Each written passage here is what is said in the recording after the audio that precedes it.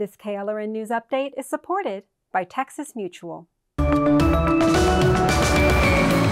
Earl Abel's restaurant on Broadway near Pearl will shut down next week. The owner of the 90 year old diner blames inflation hardships, staffing problems, and a lingering impact from COVID 19.